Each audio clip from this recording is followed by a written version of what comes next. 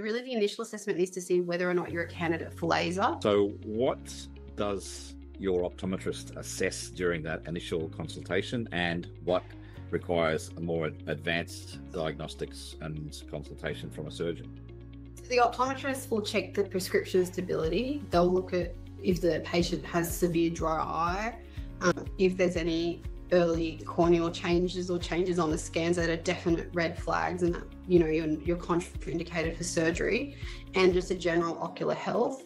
Then when they see me we go into the scans in more detail. Um, we look for nuances. Um, we also do a dilated assessment. So i have a look at the retina and the back of the eye um, and we recheck the script once you're dilated because it's important to check that the script is relatively stable even post dilation and then we talk about the options for the patient um, based on their occupation and their personality. So it's a little bit more customized. So really the initial assessment needs to see whether or not you're a candidate for laser. We still have patients that come in and they're not a candidate for laser, but then they want to go on to see me for implantable collamer lenses or ICLs. So just because you're not a candidate for laser with the optometrist assessment, it's just a screening. Um, it's basically a screening assessment to see to give you a ballpark idea of what you may or may not be a candidate for.